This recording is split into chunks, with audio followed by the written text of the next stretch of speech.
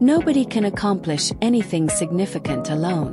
But someone has to start it. ไม่มีใครสามารถทำสิ่งสำคัญให้สำเร็จได้เพียงลำพัง แต่ต้องมีใครสักคนเริ่มต้นก่อน Nobody can accomplish anything significant alone, but someone has to start it. Highlights the importance of collaboration while acknowledging that every great endeavor begins with an individual who takes initiative. While it may take a team to bring about meaningful results, the courage to begin often rests on one person's shoulders.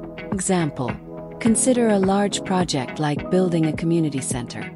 Though many people will eventually contribute their skills and efforts, one person has to take the first step to organize or lay the foundation. In the image, a single person is planting a seed, symbolizing the start of something important. In the background, others are approaching, ready to assist in nurturing the project.